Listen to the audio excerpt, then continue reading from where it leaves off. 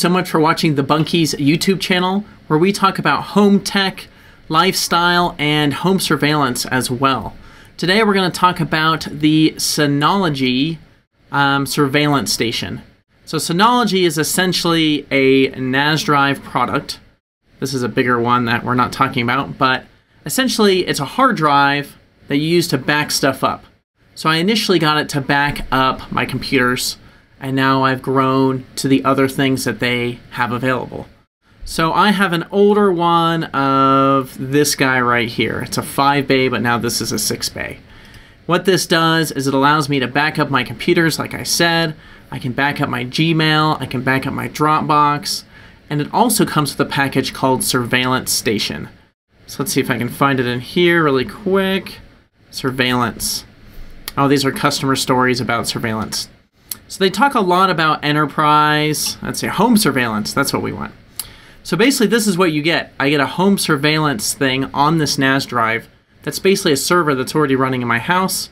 I can hook up some cameras on the outside and I can see what's going on no matter where I am. And if things are going on, it can record it for future evidence if needed.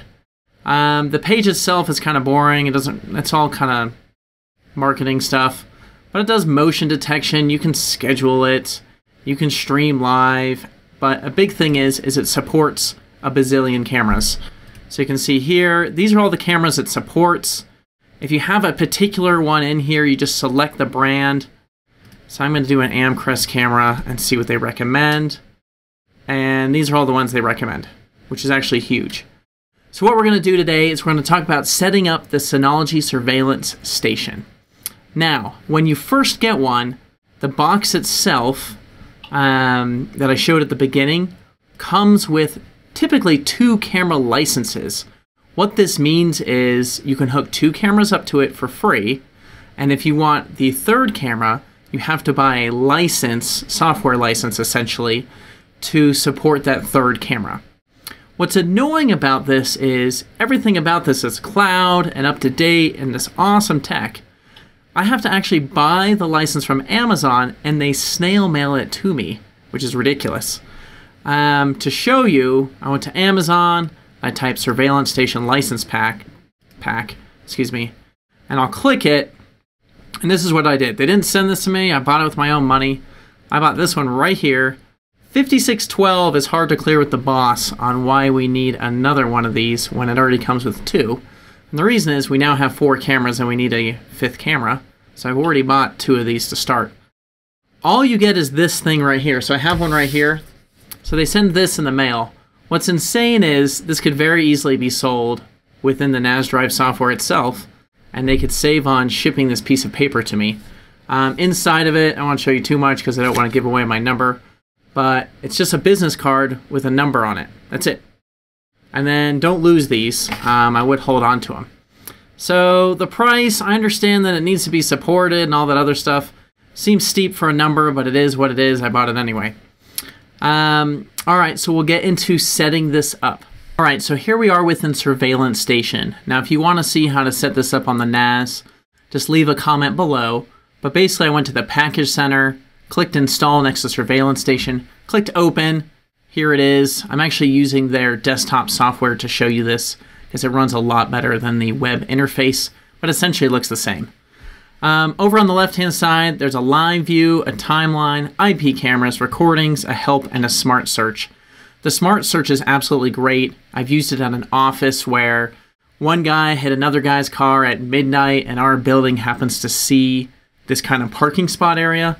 So you can highlight the area and then hit go, and it'll scrub through. At this point in time, was like three weeks of content and found the particular incident where someone backed into it and took off. Um, now, that particular one, there was weather, it was like 100 feet off. So, reading the license plate was a no go, but we got the make and model of the car, and they were actually able to find them because they live pretty close. So, that's kind of helpful. But it's similar to other operating systems. You click up here on the top left, and you get this kind of menu here. I don't know how to zoom in, and I'm on a huge monitor, so hopefully you can see it. What I did is I went to licenses and then I entered in the number within this little disk thing here. And then it adds the license, which then allows me to add a camera. To add a camera, you go to IP camera, so I click that, and now it shows all of my cameras. So I'll blur some of this out, but to show you, I've one on the front door and it says it's taken 2.8 gigs worth of space. One on the driveway is taken 3.7. Uh, one in the backyard, which is 26 gigs. This one is a lot bigger. It's just because the dog runs by, it, it records it. Um, and then there's a kind of side yard cam, which 1.8 gigs of space. So yours will be different depending on how you have it set up. Mine are recording 24 hours a day if there's motion. So if it's snowing like crazy, these numbers get a lot bigger because we're recording snow falling. Um, but if anything does happen, I do have this info.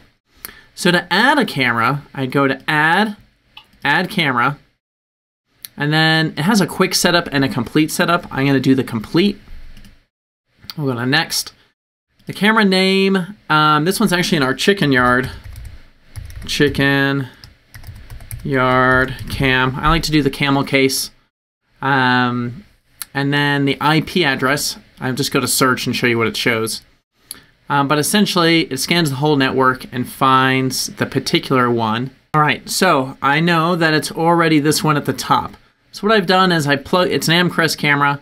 I plugged it in, I changed the default username and password, and I put a fixed IP for it on my router so I already know what this is.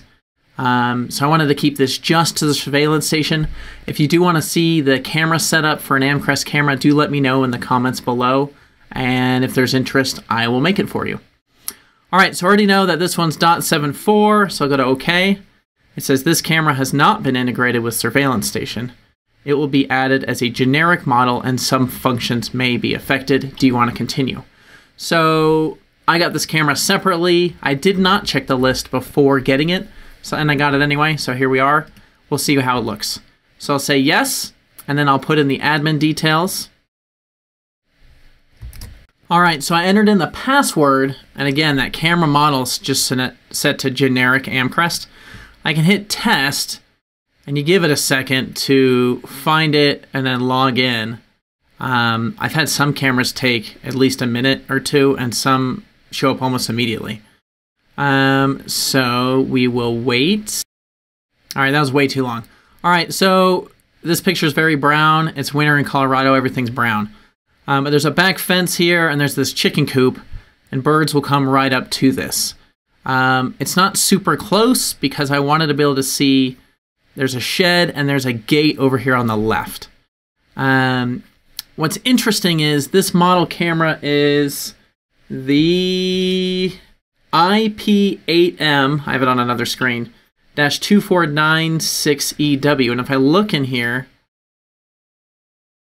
or if I type it in, IP, no. Let's see, let's scroll down here.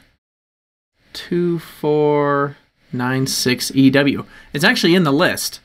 So if I click load, um, that compatibility thing goes away. So it's actually in the list for Synology that is supported, um, but it doesn't tell me initially. Failed to connect to surveillance line, please check the following settings. So, no, we'll test again. Oh, nice. So when I change it to the actual camera model, it doesn't work. Oh, it's dash 40 millimeter, which is not in here. So I'll go back to the top. So this particular one is in the list as two versions, but I have a third version, um, and that's why. So it's actually good you're here so you can see between changing the two. Let's see if this works. Now nothing works. Oh, because this changed. Test. Oh, because it now one thing I do. This happens a lot. It takes it changes the password on the port. So if you change it before, then you can't get to it. All right, we'll go to next. All right, so video format. this camera supports H.265. Now, not a lot of cameras do. I see a lot of people buying Reolink, and they're way cheaper than an Amcrest camera. So you can probably get one of these for 100, maybe 120, depending if there's a sale.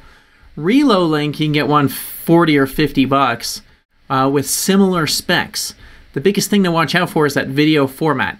Now H.2.64 is sorry 264 is approved. It's proven. Everyone uses it. Everything supports it. Um, you won't have any problems there. Uh, MJPEG is a lot small or a lot cruder of a quality. Um, now I'm not an expert in these. I just know that H.265 uses way less bandwidth and file size than .264, and that's why I got the 6.5 cameras. So it's cut. I've had these cameras set to 4, and upon changing them to 5, it's cut the bandwidth that's being used over the network and the amount of storage when there's motion. It's cut in half. Um, so that's worth it to me. Um, so I don't have to keep either upgrading the NAS drives or adding more hard drives just for the surveillance. I can use what I got. All right, next. Audio format, I don't do audio. High quality, so I do stream one. Balanced, I usually do stream two. And low, I do stream two. Sometimes I wish there was a three, but there isn't. Resolution, now this camera goes way up and does 4K, etc. The problem is um, when I set it to the highest level at 30 frames, it's actually kind of choppy, so it's not worth it. So I actually bring these down to usually 20 frames. Some people say 25. Or I bring this resolution down. So I'll bring it down to here. And I'll bring my frame rate up to 20 at the highest. And then stream 2, I'll leave it pretty low. And I'll put the frame rate a little higher than what they recommend. And then the image quality, I'll just leave it at that. And you can play with these. Go walk outside. Send your kids in front of them, whatever. Pre-recording time, what this does is it records all the time, and then if something moves in front of the camera, um, it keeps that five seconds, the motion, and then the post-recording time. So you can see people entering the scene. Um, so I do leave that on. Keep files. Um, I usually do 30 or 60. I don't go on a vacation longer than 30 days, which would be awesome. So if I'm gone for a week, I have the video that I can go through if, if needed. Um, I always customize the archive folder name to be the camera, and I always do the prefix to be the camera. And then this is just the storage pool that I have. All right, so right now this is just continuous recording. Um, I wish there were more options in here to do, um, like I want motion only on these times and then continuous, but it doesn't allow that. So I just colored in motion all the time. Um, and then there's a home mode where if you're if it sees your phone at home, then it's not recording, but you can be home and crap can happen. Sorry, um, at any time. So I usually just have it recording motion because I don't care if it gets the dog or birds or whatever, UPS man, etc. So I go to finish, and now that camera is added. So it says right here, chicken yard cam, zero gigs. If I hit play, it shows a preview of it. And there it is. Nice and brown because it's winter time. All right, so that's the setup of installing a new IP camera on your Synology surveillance station. If you have any questions about this, let me know in the comments below. There is a, a learning curve. I do like recommending these, but it really takes either a tech enthusiast or someone that's willing to learn to jump into it. Um, there's family members that want this kind of stuff. I say just go buy something from Costco that's set up and done. Um, but if you like tinkering with things and playing with them, the Synology NAS drive, it's worth a look. Anyway, if this was helpful in any way, go ahead and give it a thumbs up.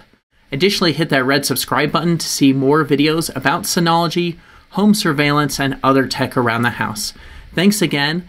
My name is John, and I'd love to see your comments below. Thanks.